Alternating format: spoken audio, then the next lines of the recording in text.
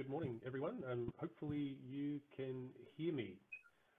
Um, uh, hopefully I'll get a message soon on my chat to say, okay, I'm getting the message to say that you that, that, that you can hear me.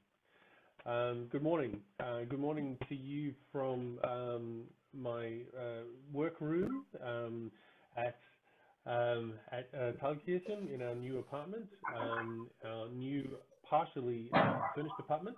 Um, as you possibly found out last week, um, we all got COVID, uh, so we have been sort of struggling through that for the last uh, for the last week and a half. And praise God, we are all uh, COVID free at the moment.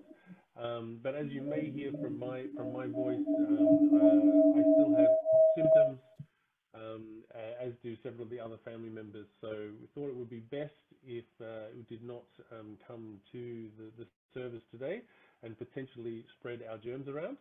Um, uh, so I'll be sharing with you uh, from home uh, today. Thank you, uh, Samuel, for, for reading our passage this morning, which is actually one of three passages that we'll be looking at today from Genesis. Um, thank you, Ferenmi, for leading us in that worship. The, the, the words were just so fantastic and will fit in very, very well uh, with what we're talking about today um, about God's promises, about His faithfulness, uh, and in particular about His His faithfulness even when it, it seems to us that things are impossible. Uh, we'll see through these. I hope that what we'll see through through the the message today um, is that God is the God of the impossible. Um, that He is faithful to His promises and He is faithful to see those things come to pass and he is aware of our flaws. He's aware of our limitations, but he is still faithful because he is gracious, he is merciful, he is loving. So let's uh, let's pray uh, before we start to to unpack um, these scriptures this morning. Blessed Lord God, Father, you have caused all holy scriptures to be written for our learning, for our edification, for our training, for our building up. I pray that you would help us to hear them, read, mark, learn, and inwardly digest them in patience and comfort and with the leading of your Holy Spirit. May we embrace and ever hold fast to the blessed hope of eternal life, of everlasting life that we see in your scriptures from the Old Testament to the New, and particularly in Jesus Christ our Lord. Amen. Have you ever had to wait for God? I want you to try and think about a time in your life, or maybe something that you're going through at this present moment in time. It doesn't have to be something that's historical, it could be something that is current to you right now. But have you ever had to wait for God? And has you, in that process of waiting, have you found that things become more and more difficult the longer that you have to wait? Have you ever had to wait for his promises to come to fulfillment in your life? Because sometimes we pray for something and we wait for that answer, but we may not have received or, or heard a clear promise from the Lord. But sometimes, I don't know if you've experienced, but I know I have experienced a couple of significant times in my life when I feel like the Lord has said to me or impressed upon my heart or spoken to me through the scriptures clear promises of Paul, this is what is going to come to pass. And at times, that has been a very, very long period of time between when I felt like that promise came to me uh, and the time when it actually came to pass or was delivered. And there were certainly times of doubt, times of questioning. Did I really hear God correctly? Times of not knowing how I should act in that situation within that interim period. Have you ever had experiences like that? Or maybe you're going through experiences like that now? Have you ever had a sense that maybe God was speaking to you, promising you or warning you of something, and you had no choice but to wait? There was not an action that you could take. There was not something that you could sort of put into action right at that present moment in time. If you're like me, um, you may like to have control over things. And so sometimes when you hear a promise or you hear a command, you think, I, I want to do something to make that come to pass. And sometimes we are called to do that that is true, and we can certainly bring an argument from the scriptures in regards to that. But sometimes we're told just to wait. And that can be really, really difficult. Have you experienced that yourself? So take a couple of minutes just to think, to think about whether historically in your life you've ever been in that situation of just waiting for God, waiting for a promise to come to pass, something that you felt that God has spoken to you. And have you ever had that sense of I want to get in, I want to control this, I want to I want to be part of the solution, I want to be part of bringing this about. And I just want you to hold that image in your mind. I want you to hold that memory in your mind as we look at our passages for today. Because today we're going to rejoin our journey through Genesis. The last time we looked at Genesis, um, we looked at um, Abraham's covenant when God first establishes his covenant with Abraham. And if my memory serves me correctly, Brother John shared about that. Well, today, what we were going to do last week and this week was to take two weeks to revisit our Genesis story, but because of, uh, of unforeseen circumstances, we just have the one week this week. And so, what we're going to look at is we're going to look at three stories, three chapters actually Genesis 17, Genesis 18, and Genesis 22. and in, excuse me, these stories, all three of these stories, form part of a larger story, um, and they all have waiting and trusting at their core. There's this, there's this, um, um, there's a crisis or there's a situation that requires waiting, uh, particularly on Abraham and Sarah's part. But there is a there is a there is a situ there are situations that require waiting and that require trust in God. So these stories, as I said, are found in Genesis 17, which Samuel has already read to us, 18 and 22. And they introduce us to the second of the individuals that we know as the patriarchs. We usually think of Abraham as the first of the patriarchs, and then we think of Isaac as the second. Isaac, the son of promise the son that was promised to Abraham. Well, at first, it's promised to Abraham that he will be the father of many nations. And what we see come specifically here is now God specifically saying this is who uh, this promise is going to be fulfilled through.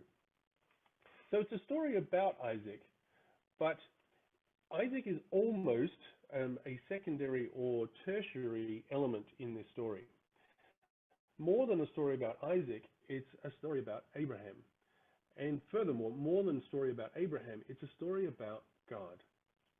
It's a story about God's faithfulness. It's a story about God's abilities. It's a story about God, uh, God's promises, and His dedication to seeing those promises come to pass.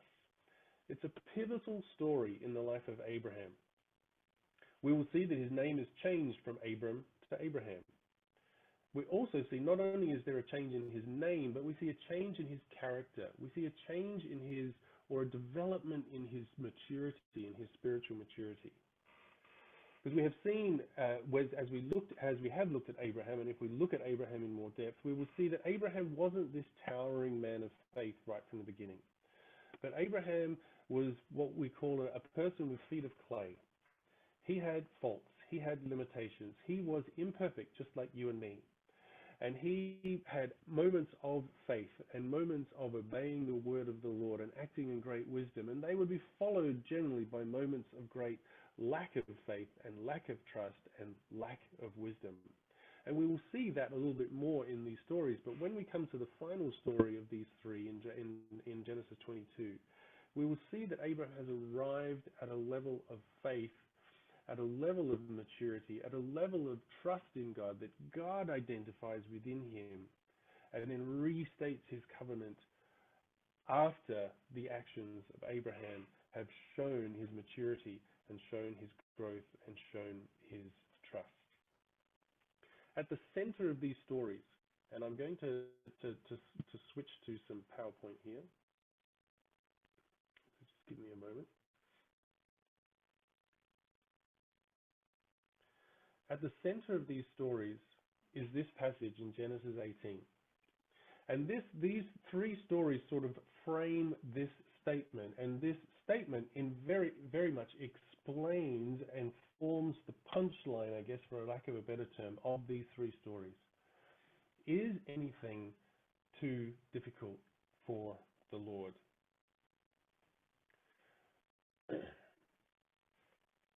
So to give it a little bit of context, before Genesis 17, because it's been a while since we've looked at Abraham.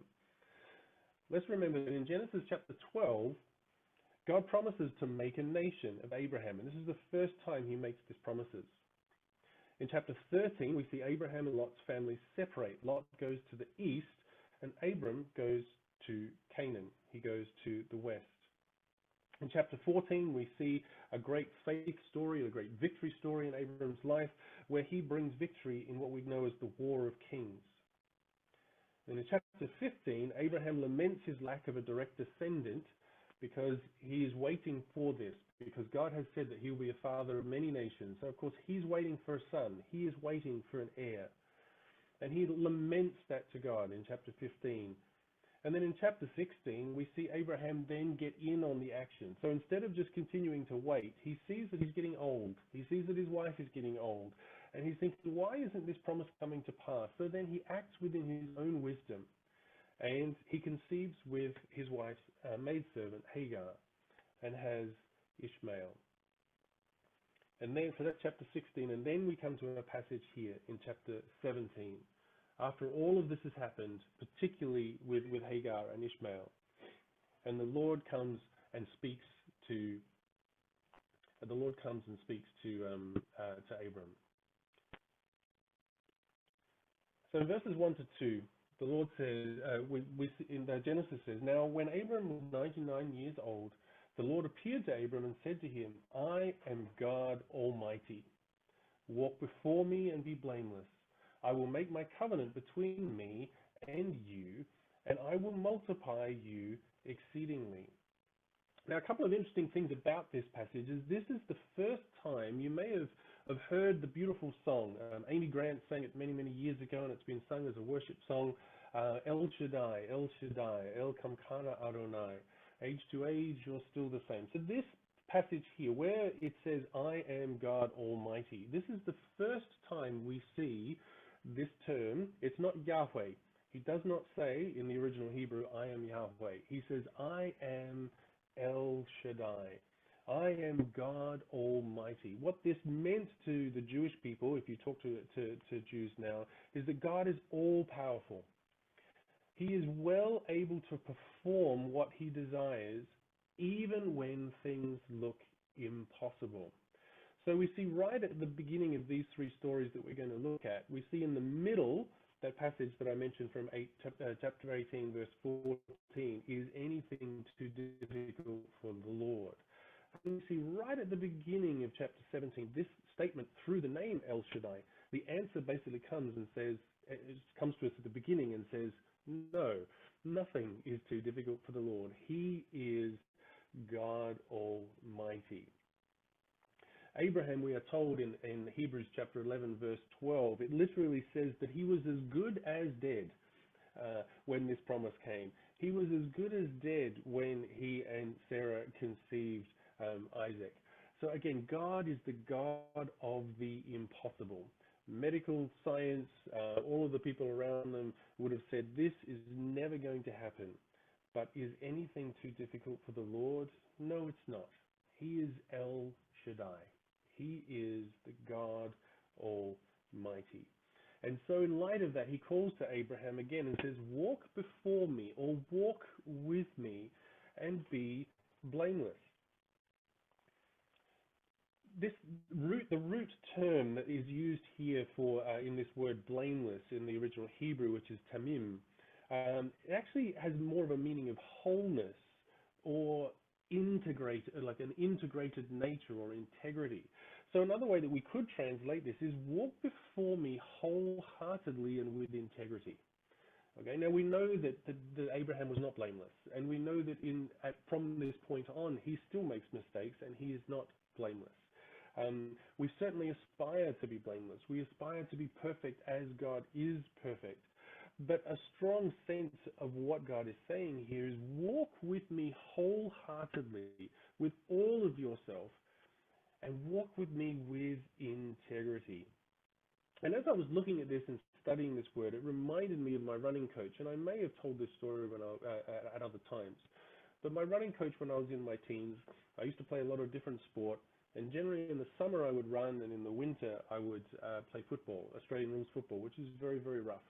And I remember getting to a point um, in my training and in my running where my coach sort of felt like I really needed to go to that next level. And he said to me, I want you to do this with your whole heart because I could see that you've got skills. I could see that you could really go somewhere with your running, but you need to give up football. Not because he had anything against football, uh, not because he didn't want me to play any other sports, but football was so injury prone, and he was thinking if he's going to put all of this effort into me, if he's going to put all of this time into training me and trying to develop me as a competitive runner, he didn't want me being double-minded and focusing on something else that would potentially injure me to the point where I would not be able to run and waste his time. So my coach wanted me to give my whole heart to this, to give my whole self to this and to and to, to, to pursue running with integrity, with all of my being, with who I want to be. So that is what God is saying to Abraham here. I am God Almighty. So give me your whole heart. Give me all of your energy. Give me all of your strength, all of your heart, and walk with me wholeheartedly. And then I will make my covenant between me and you, and I will multiply you exceedingly, as we see there in verse 2. Now, this is the fourth time that God makes this promise. The fourth time that he makes this promise of multiplying him exceedingly. Okay? It uses different terms at different places, but this is basically the fourth time that God makes this type of promise that you will be a father of many nations, that you will multiply, uh, that you will have children, you will have descendants, and they'll be as um, the sands of the sea. God has already established his covenant back in, um, in chapter 15, where we see this strange ceremony where, where God causes this trance to come over Abraham, and then he, there's these animals that are cut in half, and then this torch passes through them. So God, we see in there, and most most scholars, most theologians will say that what we see in there is that God is establishing by doing this, by Him being this flaming torch that passes through um, the, the separated carcasses, is that it is Him that is establishing this covenant. That Abraham doesn't have to do anything at that point. This is God saying, This is me making covenant with you. I'm enacting this covenant. I am doing it. But what we are going to see coming up here is we're going to see that God then asks Abraham and says, This is what now I want you to do. One of those things is I want you to walk with me and I want you to give me everything. And the second thing that we're going to see is he's going to give a sign of that covenant. So this covenant has been established through the torch of the Lord passing through these carcasses in in uh, in chapter 15. But now what I'm going to ask you to do is to enact this thing called circumcision, which will be a sign of that covenant that I have established with you. Moving on to verse 4. As for me, behold, my covenant is with you, and you will be the father of a multitude of nations. No longer shall you be named Abram, but you shall be named Abraham, for I have made you the father of a multitude of nations. So Abram, which means exalted father, sort of like the, the, the, the head of his home, to Abraham, which is a father of a multitude. And then moving on to verse 15, and God said to Abraham, As for your wife Sarai, you shall not call her by the name Sarai, but Sarah shall be her name. I will bless her, and indeed I will give you a son by her. Then I will bless her, and she will be a mother of nations. Kings of people will come from her. So now Sarai, her name is changed to Sarah, which again in the original Hebrew means princess. So her original name probably pointed to her birth, like the, the family that she came from, whether that was nobility or not. Um, but her new name, um, excuse me, points to her noble descendants. So she is no longer now just a, a woman. She is no longer just an individual um, in this world, but she is a princess from whom all of these descendants will come from. That they will look back to her um, as, as, as a progenitor, as an ancestor, uh, as, as the one through whom God has blessed and created his people. In verse 16, we also see for the first time it's specified that this particular heir will come through Sarah. Up until this point, each time a promise has come, it has been nebulous. It hasn't been clear. It hasn't said, I am going to bless you through Sarah, or I am going to create a multitude of nations through Sarah. It's always been focused on Abraham. That I will bless you, that you will bless others, that you'll be a father of many nations, etc., etc. Um, so then Abraham, as we know, goes off and tries to, to fix things up himself with Hagar. But here in chapter 17 is the first time that we actually see God specifically say that this blessing must come through, or will come through, Sarah. It's not going to come through Hagar. It's not going to come through some other maidservant or through some other woman. It will come through Sarah. And of course, what does Abraham do? He laughs, as we see in verse 17. Uh, and we will see that Sarah will do the same thing in chapter 18. And this is an indicator of where Isaac's name comes from. We sort of, we sort of see a bit of a, a, um, a, little bit of a letting in on the secret of what's coming up. Um, is that the son that you are going to have you will call Isaac, which means he laughs or God laughs. But Abraham and Sarah both laugh. Um, and, and so that's what we see here in verse 17. The first hint of Isaac's name. But also, a thing that we don't see here is there is no record here of Abraham telling Sarah of this promise, which is interesting to note because what you will see in the next story in chapter 18 is when Sarah overhears the conversation about her being the one who will have this child. That is when she laughs. So it's very interesting that Abraham doesn't actually tell her at this point. And then if we move on into verse, um, sorry, to verse 20. Abraham then says, as for Ishmael, he asks about Ishmael. And as for Ishmael, I have heard, and behold, I will bless him, and I will make him fruitful and multiply him exceedingly. So Abraham is concerned for Ishmael and wonders what's going to happen to this child. And God says that he will also be blessed. He will become a nation. Okay, and he will have princes. There will be he will be the father of twelve princes, and I will make him into a great nation. But then verse 21 is really important. But I will establish my covenant with Isaac, whom Sarah will bear to you at this season next year. So sometimes what we interpret this as is that Ishmael is cursed and that um, and that Isaac is blessed. But we don't see that illustrated here. We actually see very, very clearly that God is saying, well, no, I will actually bless Ishmael. Okay, Ishmael will be blessed. We do find out later that the people, the Ishmaelites, will be in um, contention with the Israelites.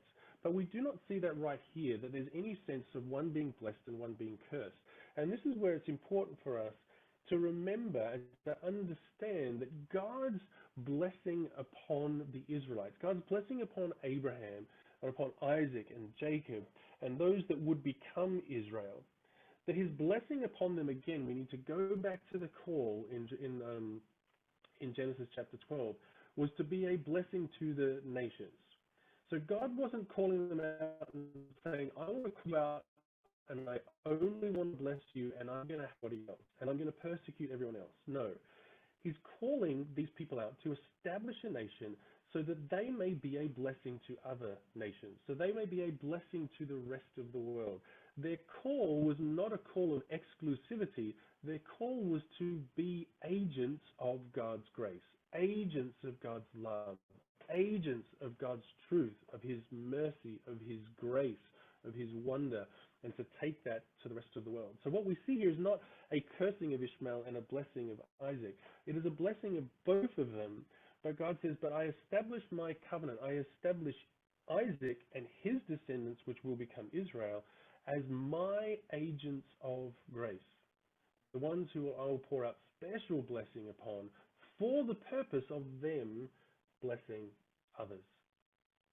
So, in summary, what we see in this first chapter, in this first story in Genesis 17 is that God is El Shaddai.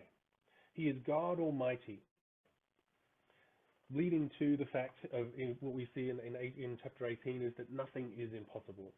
God calls Abram to give his whole life, to give his whole self to him.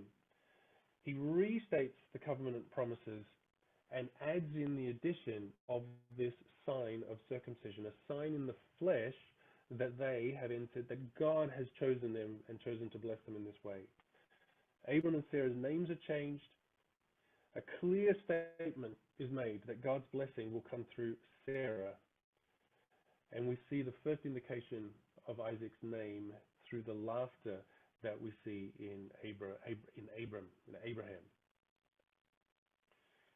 So then our second story, Genesis chapter 18, and this sort of is like the meat in the sandwich of the three stories that we're looking at. And this is really important for understanding both, both stories in 18 and in 22. So let me read from chapter 18.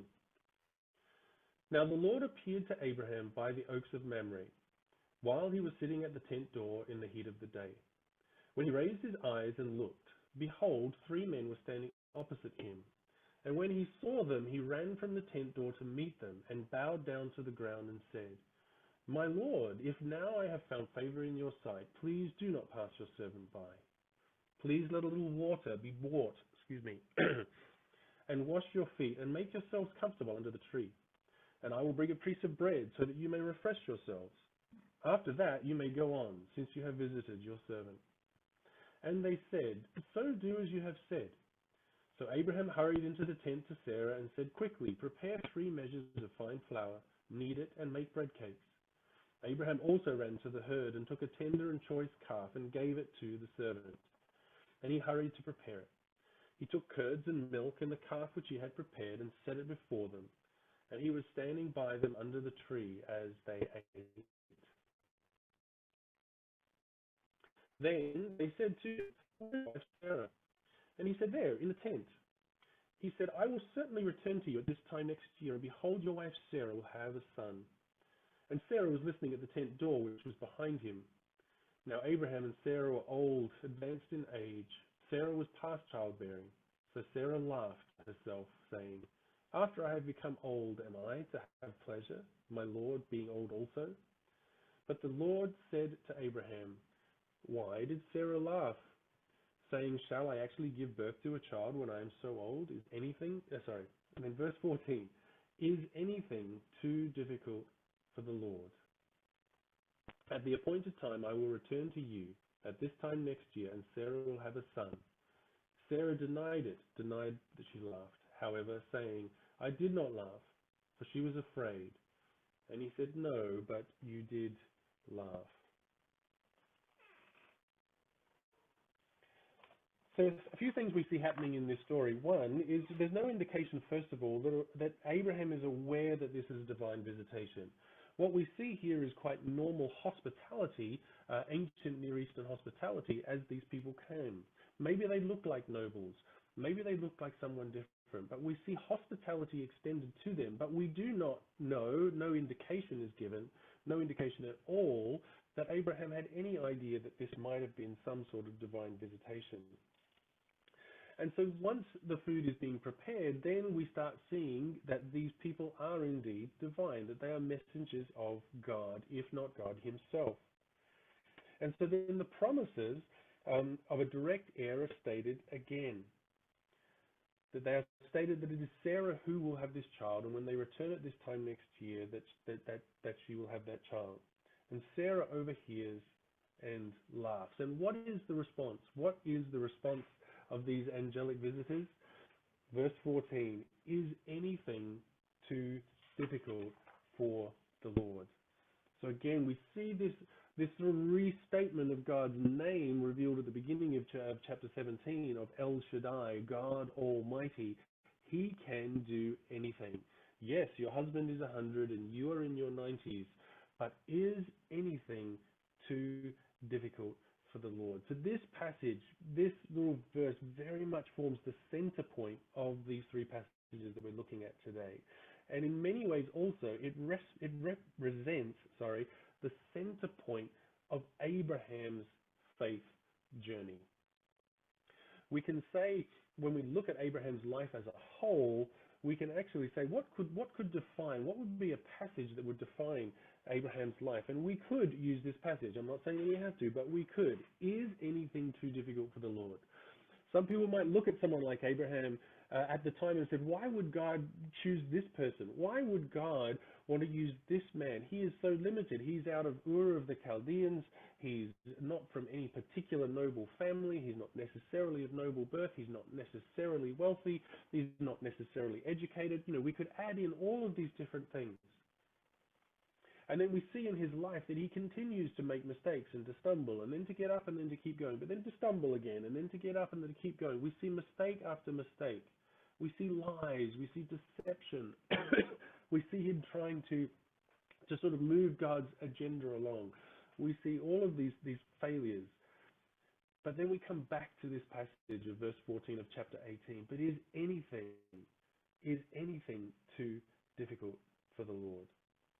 And this statement again sets up what is to come in chapter 22, when Abraham will be called upon to seemingly to destroy the very realization of God's promise.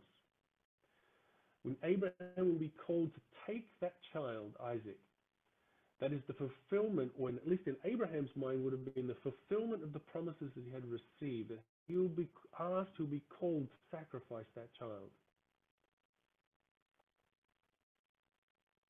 He will be asked to apparently to destroy the provision of that promise.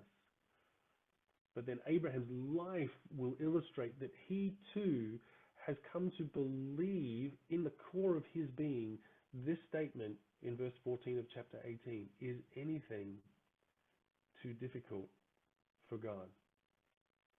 The statement, the question, the command that he will be given to sacrifice Isaac will make no logical sense to Abraham. But he will be called to listen to God and to trust God and to be faithful to him. So again, let's go back to the question that I asked you at the beginning, to think about promises that you might have felt that the Lord has spoken to you, that you have been holding on to, or that you held on to previously. And maybe those things didn't make any logical sense at the time, or maybe things happened as you were waiting that didn't make logical sense. Were you able to, or are you able to say, is anything too difficult for the Lord? Kwani and I were, were faced with um, a, a, little bit of a situation, just to use a very, very small example, when we were looking at coming to, to Munich um, to work at IBC. And we were we were stuck in Australia. We were in uh, you know Australia was in a level of lockdown, and Germany was in a level of lockdown.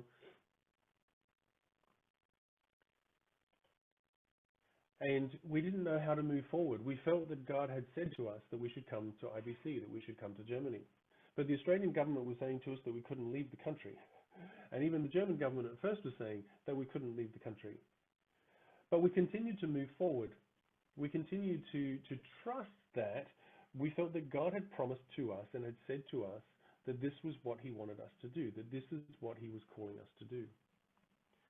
And slowly, as we moved forward and as we kept trusting and as we kept praying, we saw things happen. We saw that the German government said, yes, we can come. We can go into quarantine when we get over here. We got all of the paperwork together for that. So one side was fixed, so to speak. The German side was fixed.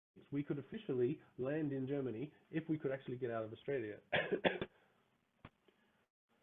we still didn't have permission from the Australian government to be able to leave the country at all. And as we daily checked the flights and airlines, we realized that less and less airlines were flying to Europe. And by the end, there was only one airline that was flying out of Australia to Europe, and that was Qatar Airways. And then we still didn't have permission to come, but we believed that God was saying, go.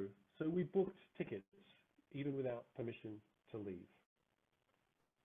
It wasn't until I think about two days before we left that God came through and provided what we needed providing the permission that we needed to actually leave the country because with God, nothing is impossible.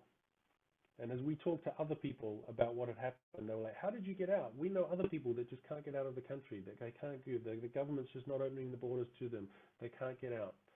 Well, because is anything too difficult for the Lord? If the Lord's word has come, which we believe that it had come, is anything too difficult for him? And isn't it glorious when we see his word come to pass even when logically everything around, everything in society at the time was saying to us, this is not going to happen. But nothing is too difficult for the Lord. Is there something in your life that seems too difficult at the moment? A promise that you have received from God that you're holding on to, that you really truly believe comes from the Lord. I encourage you to not let that go. That maybe it's not the right time right now. But God is faithful. If it truly was His word, He is faithful. If it truly was His promise, He is faithful. He will bring it to pass. the psalmist in Psalm 20 says that some trust in chariots and some in horses, but we trust in the name of the Lord our God. And then that brings us to our final story in chapter 22 of Genesis.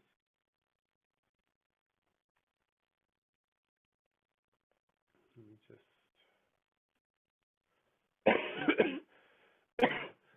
Sorry, I'm starting to um, cough a little bit much. I'm apo- I apologize if that's um, um, a little bit uncomfortable to listen to.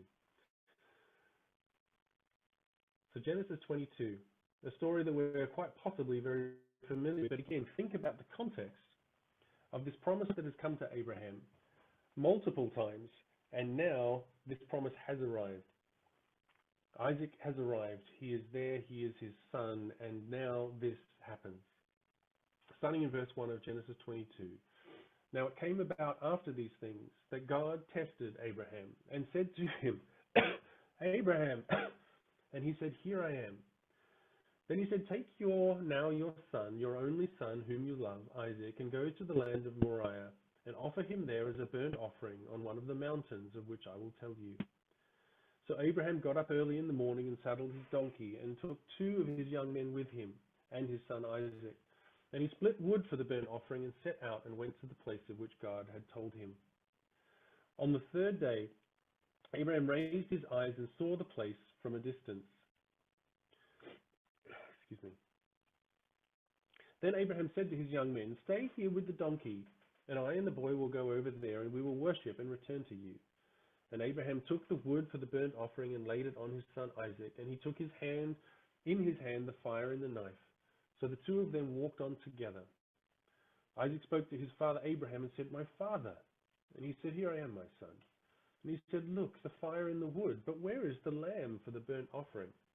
Abraham said, God will provide for himself, excuse me, my son. So the two of them walked on together. Then they came to the place of which God had told him, and Abraham built the altar there and arranged the wood and bound his son Isaac and laid him on the altar on top of the wood. And Abraham reached out with his hand and took the knife to slaughter his son.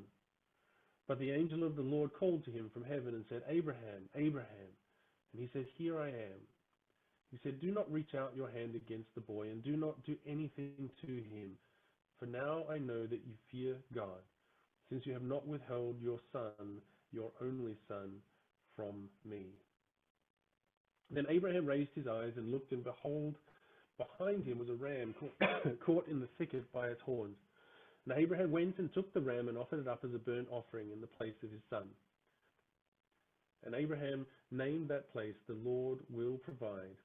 As it is said to this day, on the mountain of the Lord it will be provided. so Isaac is born when Ishmael is approximately 10 to 12 years old. Hagar and Ishmael are sent away, and Abraham has once again lied about Sarah being his sister. This happens prior to chapter 22. And then we come to this story. And some of the things that are interesting to see here is that there's no record of Abraham questioning God's direction. In fact, if we look at verses 2 to 3, when he is told to take your son, your only son whom you love, and to go to the land of Moriah and offer him the burnt offering, Abraham gets up early in the morning, saddled his donkey, and took two of his young men with him and his son Isaac. He splits wood for the burnt offering and he sets out to the place. So we don't see any interaction here. We don't see any comeback from Abraham like he did with Sodom and Gomorrah, where he tries to bargain on their behalf. But he just listens to the word of the Lord and does what he is told to do. Perhaps, again, ringing in his ears are, this, are these words from chapter 18 Is anything too difficult for the Lord? Maybe also ringing in his ears are the words in, in chapter 17 of please walk after me with your whole heart, with your whole integrity, trust in me because I am El Shaddai. I am God Almighty and you can trust me. Nothing is impossible for me. And Abraham makes statements of faith that are contrary to the available evidence at the time. In verse 5, um, when he tells the men to stay there with the donkey, I and the boy will go over there and we will worship and we will return to you. And then in verse 8, uh, when Abraham is questioned by Isaac, Abraham says, faithfully, God will provide for himself the lamb for the burnt offering, my son. So the two of them walked on together. And Abraham continues to go through with this act, trusting that there is nothing that is too difficult for El Shaddai. There is nothing that is too difficult for God Almighty. What a contrast we see here to the double minded Abraham that we have seen several times through the last 10 chapters of Genesis. Here is a person whose lack of faith and weaknesses have been exposed multiple times.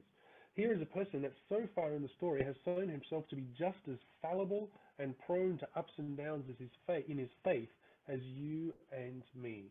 But now he is a person, he is an individual who lives out in his life that statement of, is anything too difficult for the Lord? He lives out or proves in his actions that he believes the answer to that statement is no.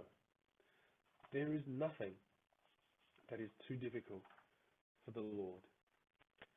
And so then, going on into verse 15 and 18, we see the restatement of the covenant. Because of Abraham's obedience, because he has shown and demonstrated in his life that he has matured, that he has come to that deeper spiritual place, that now, excuse me, the covenant is once again restated. Abraham had so far not proven his ability to be the conduit of God's blessing. He had stumbled so often.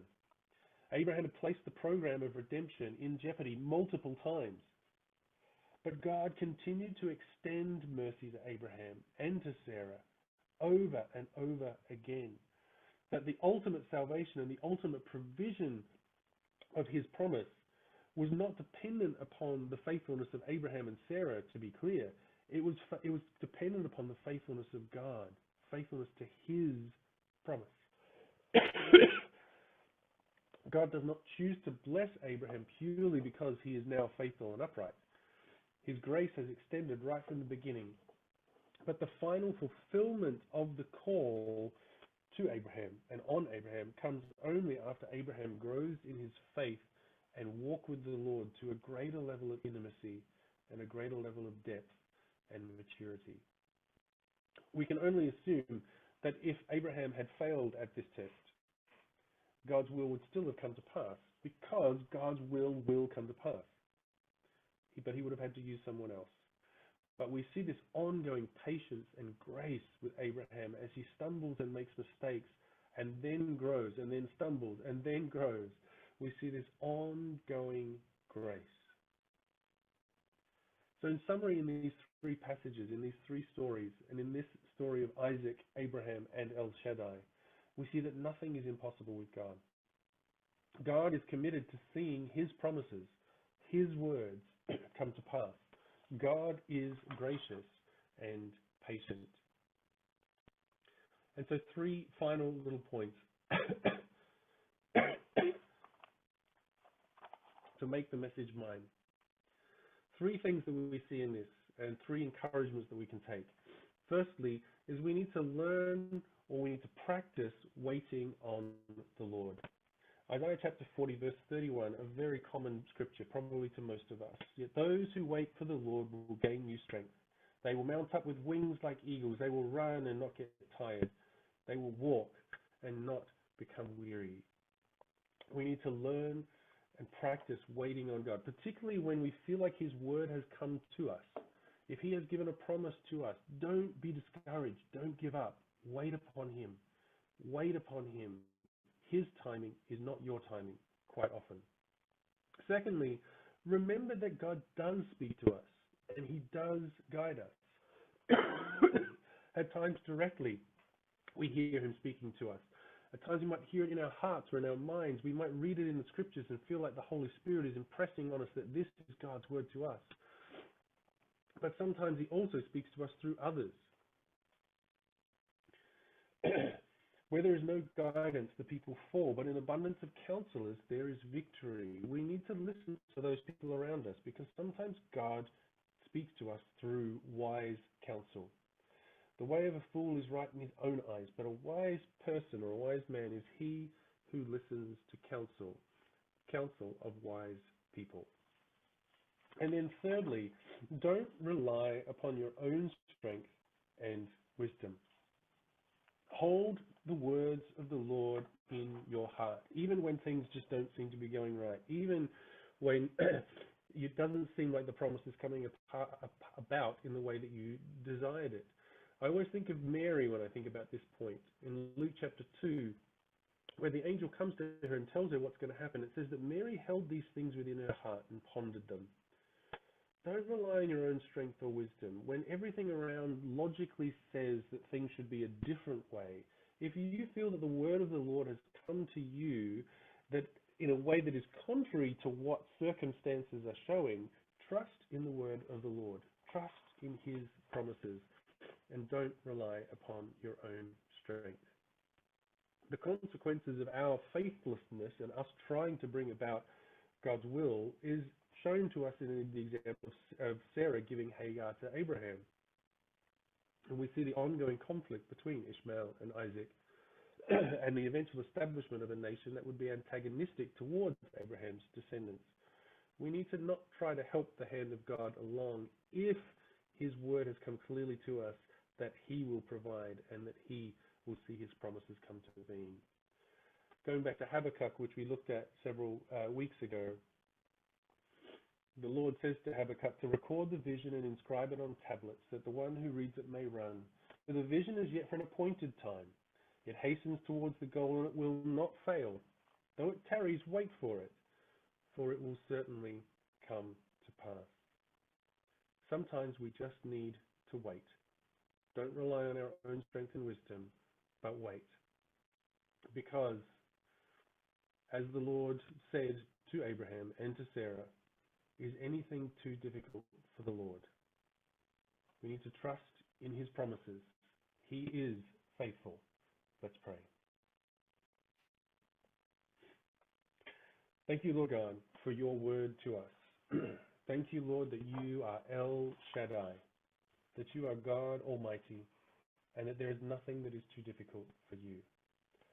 Lord, if we are struggling today, if there are any people in this service that are struggling with doubt, wavering on your promises, Lord, I pray that these words would be an encouragement to them to not get discouraged, to not give up, because there is nothing that is too difficult for the Lord. If it is indeed your word, if it is, are indeed your promises, they will come to pass. Help us to be patient and to wait for you and to rise up in your strength. In Jesus' name I pray.